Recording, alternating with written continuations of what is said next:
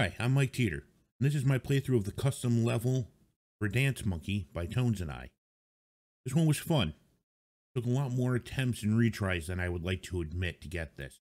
I don't think it's so much that the level is overly difficult for expert.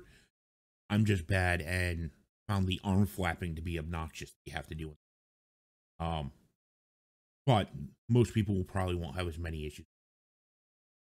Definitely a good song in a uh, entertaining level to play through.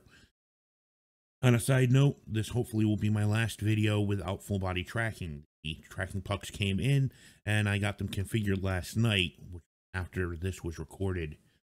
And hopefully moving forward, barring any issues, you know, no more robo feet. but hope you enjoy the video and see you next time.